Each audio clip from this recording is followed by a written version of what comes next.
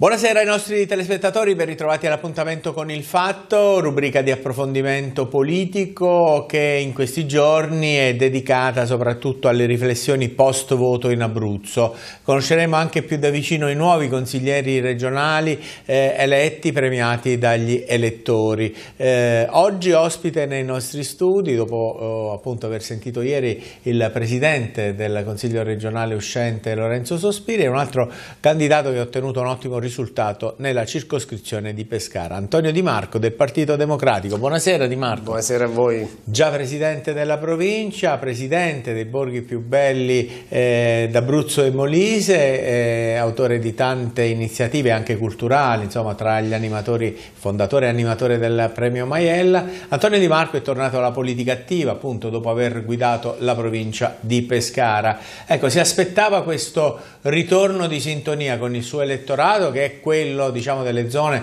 lei è stato sindaco di Abbateggio ai piedi della Maiella che però si è speso anche nella parte più metropolitana della provincia di Pescara. Quanti grazie le deve dare e soprattutto a chi? Ma intanto a tanti generosi che hanno voluto in qualche misura consentire a me un'esperienza nuova, in questo caso in regione, vista anche l'attività intensa fatta in questi anni. De davvero devo dire grazie ai tanti che mi hanno sostenuto perché ovunque ho avuto generosità, disponibilità, attenzione e soprattutto hanno scommesso su una rinascita vera e propria del mio ruolo in politica e quindi di questo ne do atto a ognuno e so di assumere una responsabilità piena perché ci si aspetta molto rispetto a questo impegno ulteriore. Da un lato la soddisfazione personale di veder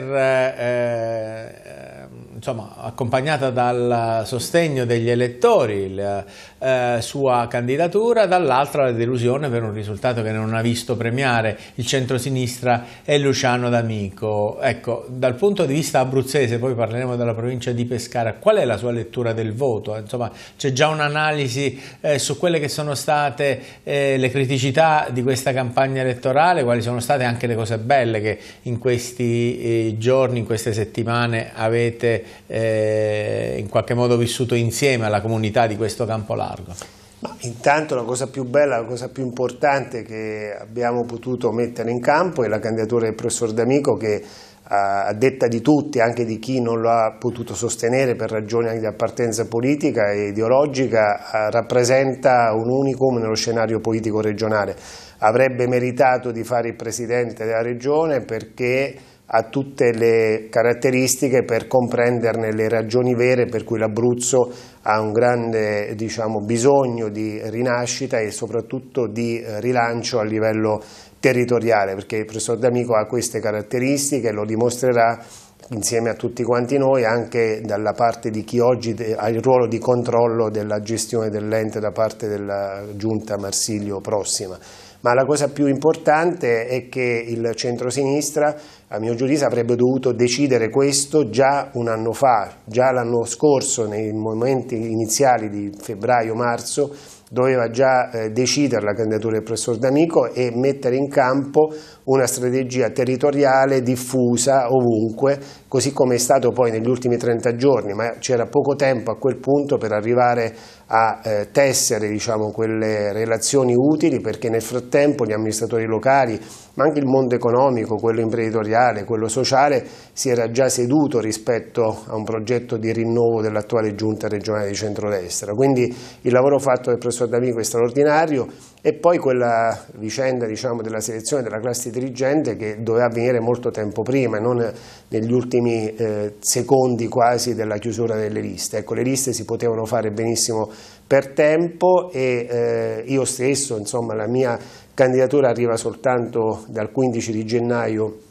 scorso, quindi eh, c'è sempre poco tempo quando sei un candidato che arriva al photo finish a essere candidato. Ecco, questo lo poteva fare meglio il centrosinistra e soprattutto il gruppo uscente dell'opposizione in regione, a mio giudizio avrebbe dovuto cucire meglio i rapporti sul territorio e offrire dei temi importanti sui quali avviare poi la campagna elettorale che abbiamo appena concluso. Insomma, dovevamo essere più eh, decisivi nelle azioni anche di proposta a livello territoriale e regionale già con l'opposizione uscente e poi il candidato d'amico avrebbe fatto il suo lavoro benissimo come sa fare il eh, professor D'Amico da sempre in tutto quello che ha fatto. Chiaro. Su scala territoriale, lei è stato vicino a molti sindaci di tutto l'Abruzzo e anche del Molise in eh, questi anni in cui è stata la guida dei borghi più belli, che sono generalmente piccoli centri, eh, nelle cosiddette aree interne. Ecco, perché hanno premiato di più il centrodestra, eh, mentre il centro-sinistra è andato meglio nelle città?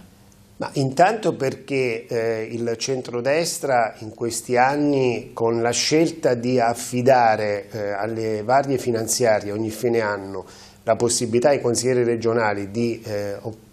di errorare proprio letteralmente risorse eh, come dire, in modo copioso e anche indistinto, perché c'è stata anche una sinergia da parte delle opposizioni che avrei evitato fortemente, ha fatto immaginare che anche i 30.000 euro dati a un comune piccolo potesse significare una grande risorsa, ma non ha offerto strategie di sviluppo come invece immagino che sia necessario fare in questa legislatura se vogliamo veramente un Abruzzo diverso e vincente anche rispetto alle sfide nazionali, rispetto ecco, al confronto che si fa spesso tra le regioni d'Italia. Ecco, credo che questo sistema abbia fatto pensare che ci fosse attenzione, disponibilità, generosità da parte della giunta regionale a dare contributi per manifestazioni, piccole cose che hanno fatto sentire grandi piccoli centri ma che in realtà non hanno creato le infrastrutture necessarie, non hanno creato per esempio un grande progetto di sviluppo turistico territoriale che possa essere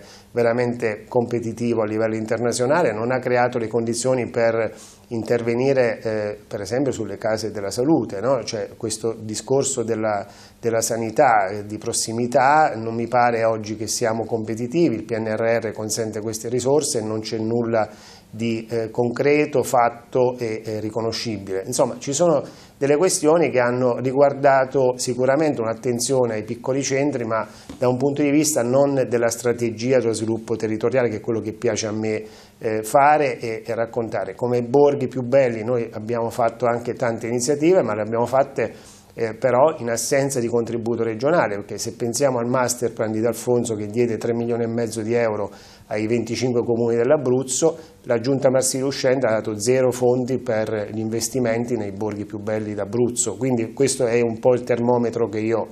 ho a disposizione di cui tratteremo anche con la nuova giunta regionale. E poi non nascondo che nelle grandi città c'è una capacità maggiore di densità di riflessione anche politica eh, di tipo anche nazionale e quindi abbiamo anche saputo raccontare con più facilità probabilmente, siamo arrivati anche eh, siamo stati anche un po' più avvantaggiati rispetto a quella che è l'opinione pubblica generale che ha saputo cogliere la differenza tra noi e il centrodestra e quindi a Pescara per esempio abbiamo un dato significativamente importante che ci fa non solo, non, non solo c'è di buon auspicio ma ci fa ben sperare e ben programmare le prossime amministrative comunali. Ecco, su quello io uh, voglio sentirla perché eh, non solo c'è un risultato uh, buono della coalizione a Pescara in città e in provincia, ma soprattutto c'è un risultato che attesta la centralità del Partito Democratico in questa uh, coalizione, perché insomma compensa e supera i problemi che ha avuto il Movimento 5 Stelle il vostro risultato. Eleggete due consiglieri, assieme a lei c'è anche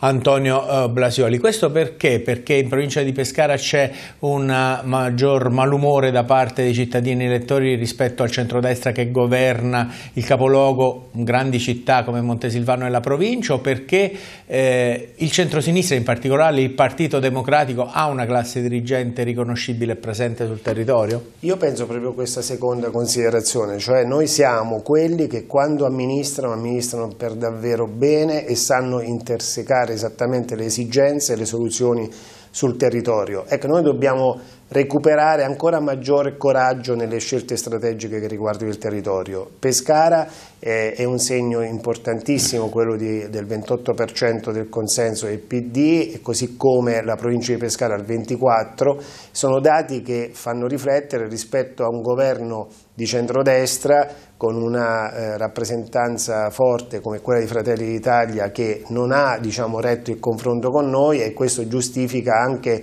la scarsa dire, adesione, così come avrebbero pensato potesse accadere e, e quindi il PD eh, è più eh, apprezzato, è più riconosciuto, ma il PD stesso deve fare tesoro di questo risultato per rafforzare ulteriormente la propria capacità attrattiva sui territori. Ecco, non mi soddisfa questo dato perché so che possiamo fare molto di più, ma lo dobbiamo fare tutti, sempre e bene, perché la classe dirigente del PD a volte eh, si ferma più a raccontare e a commentare i dati che non a mettere in campo nuove strategie che ci vedono invece utili al territorio. Io questo vorrò fare, vorrò in qualche modo stimolare a livello di partito e a livello anche di gruppo consigliare prossimo in Regione. Nei prossimi cinque anni a questa domanda avrà dato sicuramente già risposta in campagna elettorale. Quale eh, sarà eh, la prima proposta di legge a firma di Antonio Di Marco, quella su cui eh, pensa di poter condurre eh, al traguardo un risultato dei tanti che si promette nella sua attività di consigliere? Ma intanto noi abbiamo il tema del turismo che in Abruzzo ha necessità di una eh, visione nuova all'altezza dei tempi. Non possiamo più rincorrere solo le fiere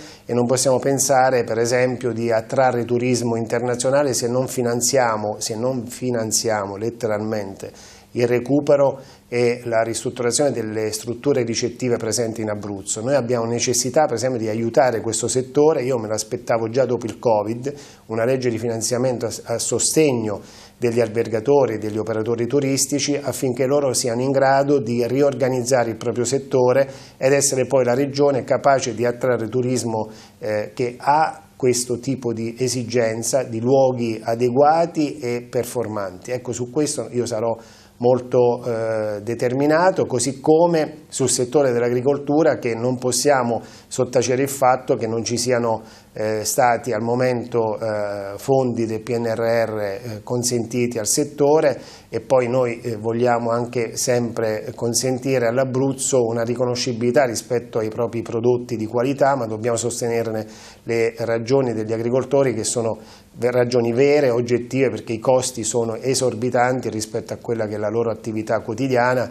e su questo ci dobbiamo mettere d'accordo. Se vogliamo una regione che punti all'ambiente, alla cultura, alle risorse dire, tipiche, noi questi settori li dobbiamo assolutamente sostenere e difendere.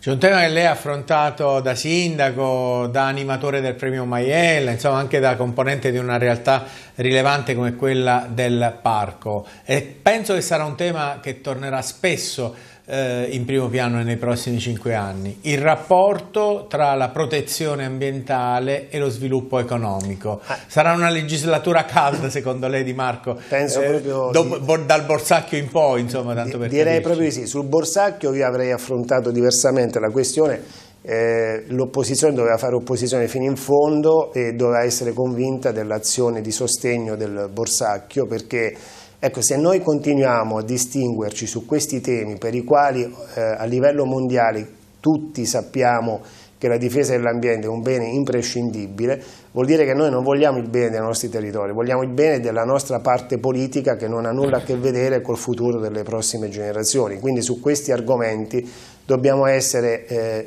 tutti convinti di difenderne le ragioni, cioè l'ambiente non può essere un'etichetta che qualcuno si vuole intestare, ma deve essere un valore che tutti dobbiamo difendere. Io su questo impegnerò il mio tempo anche per far capire e capire le ragioni degli altri, insomma, perché dobbiamo trovare eh, il punto di equilibrio affinché tutto funzioni come è giusto che sia. Per esempio i parchi vanno sostenuti eh, fortemente, i parchi non hanno oggi la eh, strategia d'insieme che invece servirebbe mettere in campo. Noi abbiamo tante realtà naturalistiche eh, presenti in Abruzzo che però insieme non hanno mai determinato per responsabilità varie un unico prodotto ambiente che sia come dire, coeso e eh, promosso a livello internazionale. Anche su questo noi dobbiamo puntare. Io punto sempre sul discorso del rilancio dell'Abruzzo fuori dai confini regionali perché il tema prevalente che ci può far vedere eh, cose nuove e importanti anche dal punto di vista eh, socio-economico.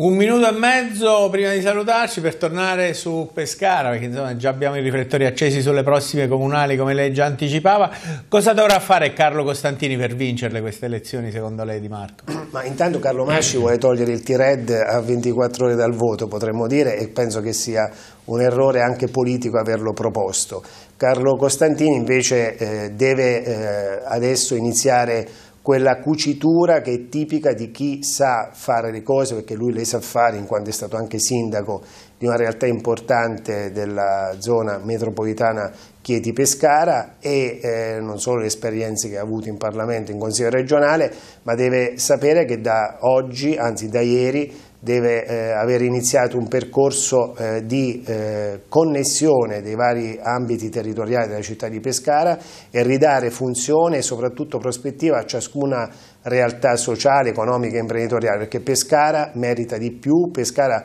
sarà la realtà nuova della grande Pescara, poi una responsabilità ulteriore di cui si dovrà occupare questa legislazione prossima per i prossimi tre anni, quella comunale intendo, e, e, lì noi dobbiamo fare anche la differenza, perché anche lì il Consiglio regionale deve fare molto di più, perché in questi anni ha pensato a rinviare, a fare diciamo, tatticismo politico, invece la nuova Pescara eh, parte con le elezioni comunali prossime di giugno e, e da lì nascerà un programma di lavoro intenso, quindi Carlo Costandini queste capacità le ha, e le può, le può, mettere in campo. Noi come Partito Democratico faremo tutto il lavoro che serve e metteremo in campo le candidature migliori per fare sì che eh, si torni a governare Pescara che ha un, una grande diciamo, pagina di storia ancora da scrivere che serve a Pescara ma serve a tutto l'Abruzzo. Bene, grazie a Antonio Di Marco, complimenti ancora per il bel risultato elettorale grazie, e naturalmente buon lavoro per i prossimi cinque anni. Grazie, a Arrivederci.